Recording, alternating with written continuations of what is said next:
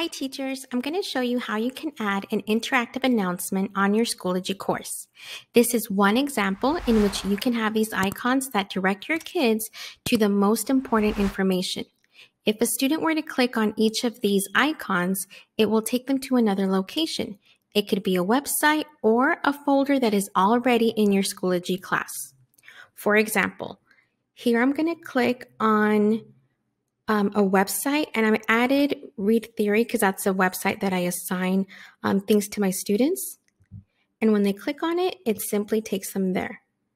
Or you can also link it to where it takes the students to another location that is already in your Schoology. For example, down here, I posted in materials, I posted this screenshot. I didn't title it, but it's it's a schedule of the week.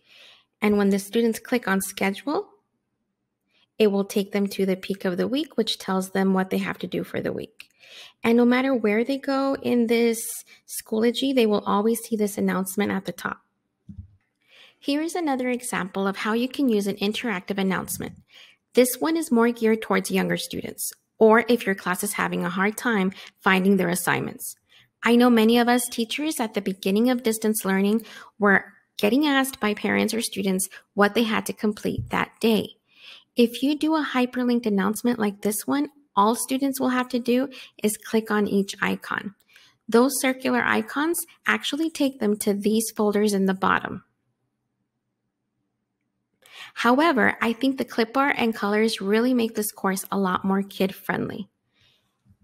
So let's try it. If I were to click on Monday, it's simply going to open that Monday folder. But if we have younger students, these icons in the these folders in the bottom tend to be a little small or sometimes, you know, all of this is very new to parents and to students. So having something large like this that's very to the point will really help them not get lost in Schoology, be able to know exactly where they need to go on that day. All these templates that you're about to see are going to be free for you to download. Just click on the link below and you'll be able to edit them and upload them to your Schoology. Once you download the file, you're going to see a folder with the instructions. And here you can have the link to the video again and you'll see written instructions in case you need to follow step by step after watching the video. And you'll also see the folder with the other three templates. There is also another 10 templates available. You can also find the link for that under this video. Now what you're going to do is open PowerPoint and you're going to set up your page. What you're going to do is going to go to File, Page Setup, and you're going to type 8 times 2. Click OK, and it's going to look this size. Then open the folder of the template you want to use. I'm going to use the emoji one.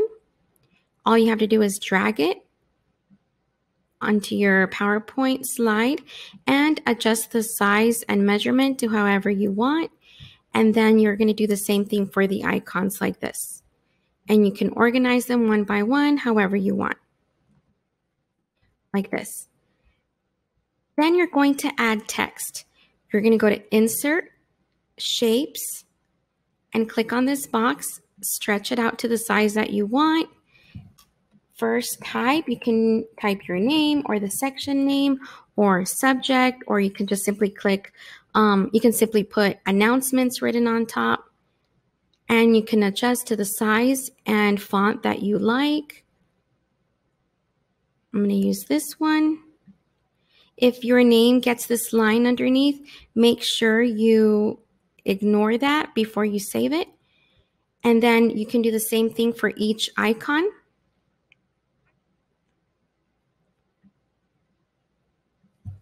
And write either the days of the week or abbreviate them, maybe if you have um, older kids.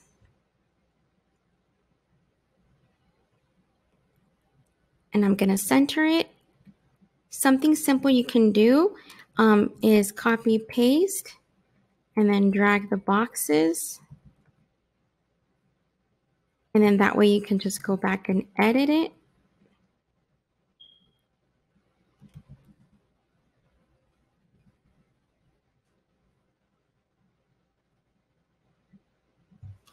And then you can go back and change the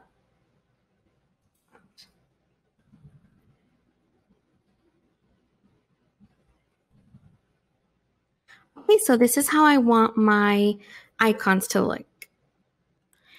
Okay, so once you're done creating your icons and your header and finalizing all of the fonts, you can go ahead and save each one. Before I move on, let me just say you don't have to make each icon by the days of the week. You can do it however you like.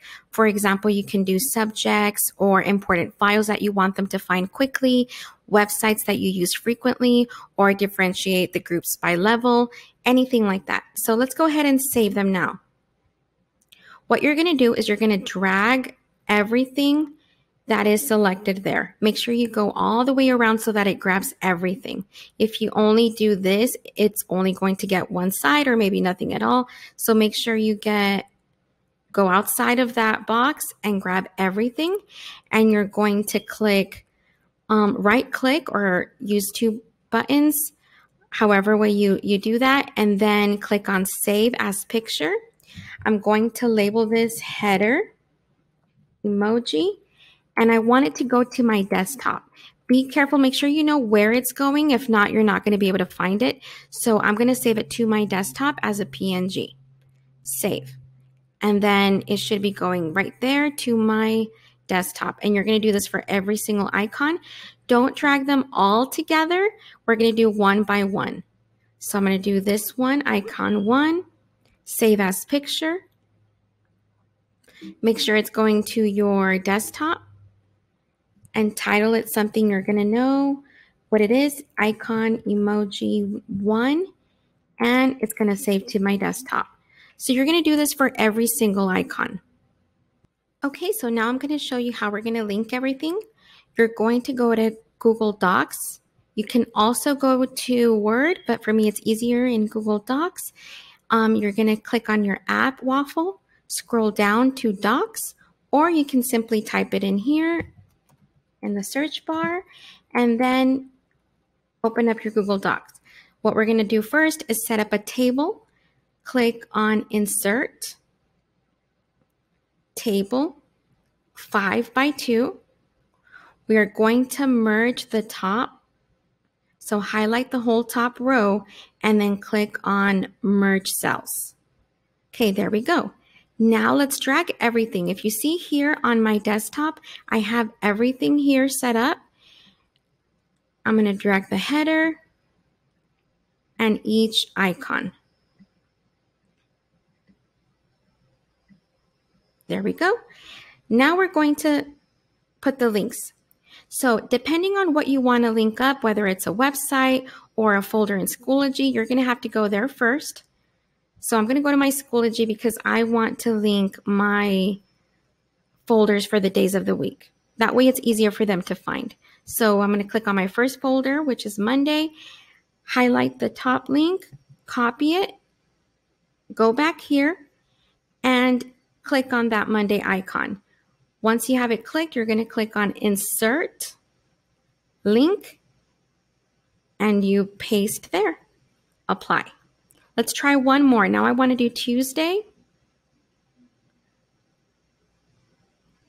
I'm going to click on Tuesday, copy,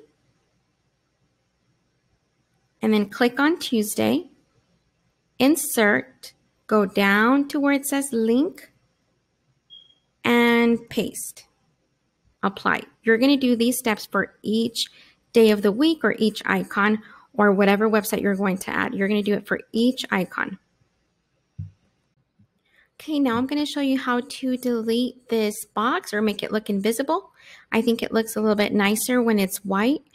What you're going to do is click on that table and then right click and you're going to go all the way down to table properties. And on table border, I'm going to click on white. Okay, that looks a lot better to me. Now I'm going to copy the whole thing. What I'm going to do is I'm going to drag from the bottom up in order to drag everything and right click, copy. Now we're ready to put in Schoology. So go to Schoology. You're going to go to updates and right here, you're going to paste it. You're going to click on that plus sign. Make sure you click on that bell or it won't be set up in the top. Click post. And there you go. This is my announcement. And if I were to click on the icons, it takes me to that Monday folder.